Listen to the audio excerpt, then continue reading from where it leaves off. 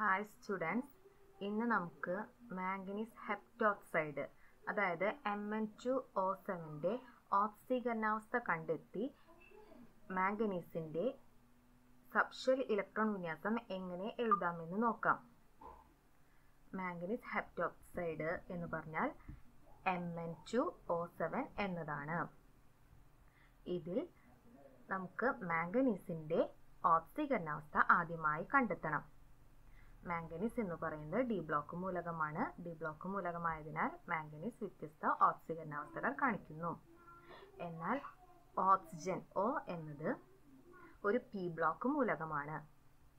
അപ്പോൾ നമുക്ക് ഓക്സിജന്റെ ഓക്സീകരണാവസ്ഥ അല്ലെങ്കിൽ ഓക്സിഡേഷൻ സ്റ്റേറ്റ് എന്താണെന്ന് നോക്കാം. ഓക്സിജന്റെ അറ്റോമിക നമ്പർ എയ്റ്റ് ആണ്. അതിന്റെ ഇലക്ട്രോൺ വിന്യാസം രണ്ട് ആറ് എന്നതാണ്. രണ്ട് ഇലക്ട്രോണിനെ സ്വീകരിച്ച് അക്ഷകം പൂർത്തീകരിക്കുന്നതിനാൽ ഓക്സിജന്റെ ഓക്സീകരണാവസ്ഥ മൈനസ് ടു ആയി രണ്ട് ഇലക്ട്രോണിനെ സ്വീകരിക്കുന്നതിനാൽ ചാർജ് മൈനസ് ആണ്. അപ്പോൾ ഓക്സിജന്റെ ഓക്സീകരണാവസ്ഥ എല്ലായ്പ്പോഴും മൈനസ് ടു ആയിരിക്കും. ഇനി നമുക്ക് മാംഗനീസിന്റെ ഓക്സീകരണാവസ്ഥ എങ്ങനെ കണ്ടെത്താം എന്ന് നോക്കാം. രണ്ട് ഇന്റു എക്സ് നമുക്ക് മാഗ്നീസിന്റെ ഓക്സീകരണാവസ്ഥ എത്രയാണെന്ന് അറിയില്ല. അറിയാത്ത കാരണം കൊണ്ട് നമ്മൾ എക്സ് എന്ന വാല്യൂ കൊണ്ട് അത് സൂചിപ്പിക്കുന്നു. ഓക്സിജന്റെ ഓക്സീകരണാവസ്ഥ നമുക്കറിയാം. മൈനസ് ടു ആണ്. ഇനി അടുത്ത സ്റ്റെപ്പിൽ നമുക്ക് രണ്ട് മാഗ്നീസിന്റെ ഓക്സിജൻ അവസ്ഥ കണ്ടെത്തുന്നത് എങ്ങനെയെന്ന് നോക്കാം. രണ്ട് ഇന്റു എക്സ് പ്ലസ് ഏഴ് ഇന്റു മൈനസ് രണ്ട് സമം പൂജ്യം. രണ്ട് ഇന്റു എക്സ് എന്നത് two X plus seven into minus two minus fourteen equal to zero. Two X minus fourteen equal to zero. Two X സമം പ്ലസ് ഫോർട്ടീൻ മൈനസ് ഫോർട്ടീൻ സമത്തിന്റെ അപ്പുറത്തേക്ക് പോകുമ്പോൾ പ്ലസ് ഫോർട്ടീൻ ആകുന്നു. So X is equal to fourteen by two X is equal to plus seven ഇപ്പോൾ നമുക്ക് മാംഗനീസിന്റെ ഓക്സീകരണാവസ്ഥ plus seven എന്നതാണെന്ന് കിട്ടി.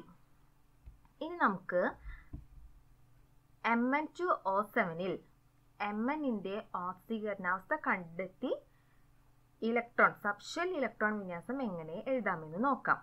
ഓക്സിജനാവസ്ഥ അപ്പോൾ നമുക്ക് ഓക്സിജൻ അവസ്ഥ എക്സിന്റെ സ്ഥാനത്ത് പ്ലസ് സെവൻ എന്നത് കിട്ടി. ഇനി മാംഗനീസിന്റെ സബ്ഷൽ ഇലക്ട്രോൺ വിന്യാസം എഴുതുന്നത് നോക്കാം. One S two two S two two P six three S two three P six four S two three D five ഇപ്പോൾ നമുക്ക് ഇലക്ട്രോണുകളുടെ എണ്ണം കൂട്ടി നോക്കുമ്പോൾ ഇതാണ് ഇലക്ട്രോണുകളുടെ എണ്ണം. മുകളിൽ സൂചിപ്പിക്കുന്ന സംഖ്യകളാണ് ഇലക്ട്രോണുകളുടെ എണ്ണം. ഇലക്ട്രോണുകളുടെ എണ്ണം കൂട്ടി നോക്കുമ്പോൾ നമുക്ക് ടോട്ടൽ ട്വന്റി ഫൈവ് കിട്ടുന്നുണ്ട്. ഇതൊരു ഡി ബ്ലോക്ക് മൂലകമാണ്. കാരണം അവസാനത്തെ ഇലക്ട്രോൺ വന്നു ചേരുന്നത് ഡി സബ്ഷെല്ലിലാണ് ഡി ബ്ലോക്ക് മൂലകമായതിനാൽ ത്രീ ഡി കഴിഞ്ഞിട്ടേ നമുക്ക് എന്ത് എഴുതാൻ പാടുള്ളൂ? ഫോറസ് എഴുതാൻ പാടുള്ളൂ. അപ്പോൾ മാംഗനീസിന്റെ കറക്റ്റ് ആയിട്ടുള്ള ഇലക്ട്രോൺ വിന്യാസം one S two two S two two P six three S two three P six three D five four S two എന്നതാണ്. ഇനി എം എൻ ടു ഒ സെവനിൽ മാംഗനീസിന്റെ ഓക്സീകരണാവസ്ഥ നമുക്ക് സെവൻ പ്ലസ് എന്നതാണെന്ന് കിട്ടി. അതായത് ഏഴ് ഇലക്ട്രോണിനെ വിട്ടുകൊടുത്തിട്ടാണ് ഇത് M N two O seven എന്ന ഒരു സംയുക്തം ഉണ്ടാക്കുന്നത്. അപ്പോൾ ഏഴ് ഇലക്ട്രോൺ വിട്ടുകൊടുക്കുന്ന കാരണം കൊണ്ടാണ് പോസിറ്റീവ് ചാർജ് കിട്ടിയത്.